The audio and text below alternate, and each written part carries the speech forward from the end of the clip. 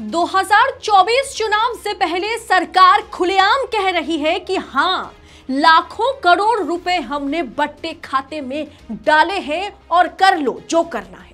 और अब wilful defaulters के बारे में कोई भी जानकारी आपको नहीं दी जाएगी, ये सीधे तौर पर सरकार कह रही है।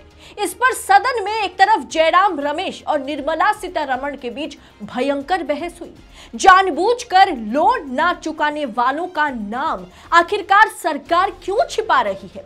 पूरी जानकारी मैं आपको इस वीडियो में दूँगी तो वीडियो को अंत तक देखिएगा। नमस्कार स्वागत है आपका देश नीति पर।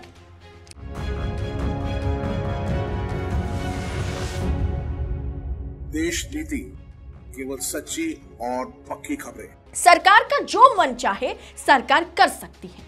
किसका लोन सरकार माफ़ करेगी, किसका नहीं करेगी? ये सब कुछ सरकार और उनके बैंक आराम से डिसाइड कर सकते हैं। क्या दोस्तों आपको पता है कि पिछले पाँच साल में बैंकों ने साढ़े दस लाख करोड़ रुपए का लोन माफ़ किया है?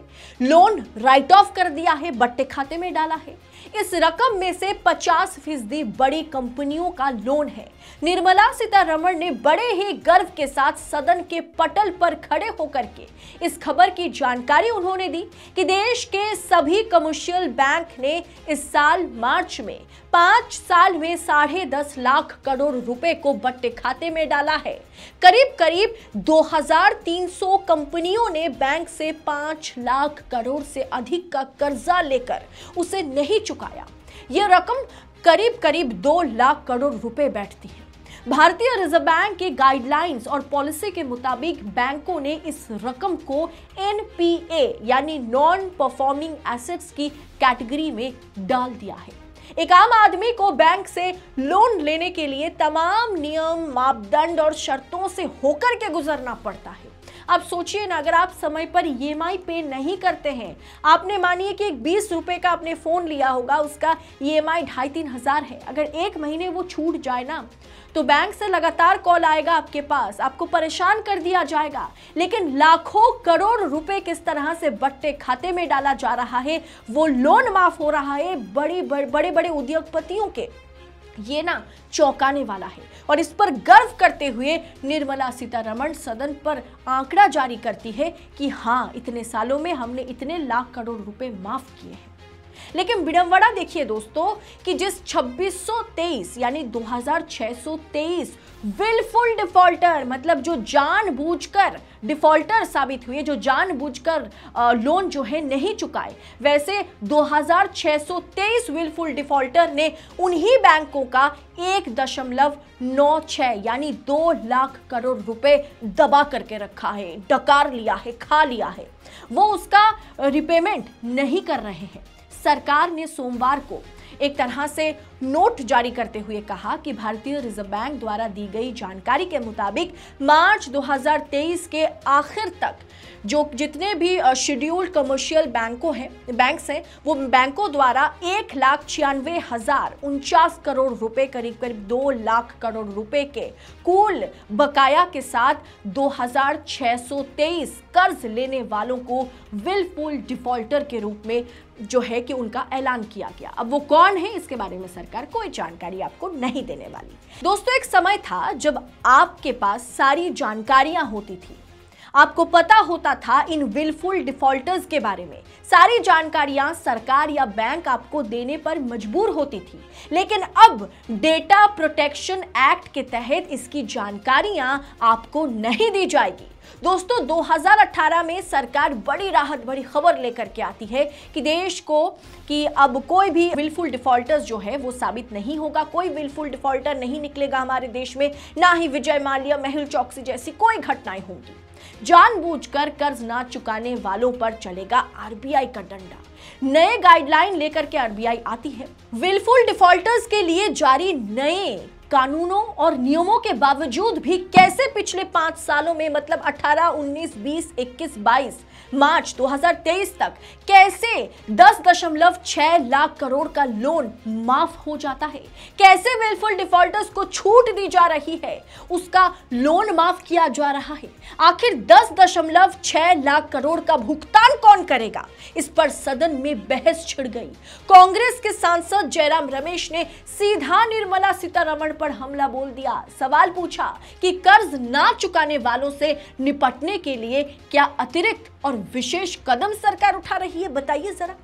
2623 व्यक्तियों पर बैंकों का दो लाख करोड़ रुपए बकाया अभी भी है।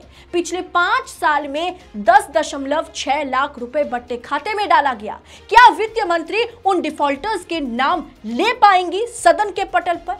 ज़ाहिर सी बात है निर्मला सीतारमण पलटवार करते हुए आंकड़े गिनाए कि ईडी के ज़रिए कितने पैसे हमने आ, कितने पैसों की वसूली हमने की है। लेकिन पाँच साल में जिन हज़ारों उद्योगपतियों को छूट दी गई सरकार की ओर से बैंकों की ओर से जो जानबूझकर लोन नहीं चुकाए उनका नाम सदन पर वित्त मंत्री नहीं ले पाई।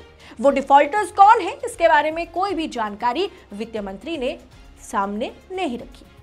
और यही पर सवाल आता है कि क्या इन उद्योगपतियों को, इन उद्योगपतियों के नाम छिपाने के लिए एक तरह से सरकार डेटा प्रोटेक्शन बिल लेकर के आई? आपको कुछ समय पहले मैंने बताया था दोस्तों कि हमारे देश में इतने पब्लिक सेक्टर के बैंक्स हैं ना, जो बड़े बड़े पूंजीपतियों को लोन देते हैं। और बाद में वो पूंजीपति फरार हो जाते हैं। सरकार उनका लोन माफ़ कर देती है।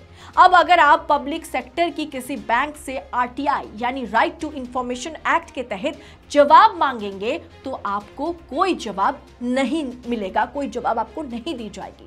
क्या हमें जानने का हक नहीं है कि आखिर कौन से लोग हैं वो? उनका नाम क्या है जो देश का पैसा डकार कर फरार हो रहे हैं? या कौन है वो विलफुल डिफॉल्टर्स जो जानबूझकर लोन चुकाने के लिए तैयार नहीं है, जिसका लोन सरकार राइट ऑफ़ कर रही है?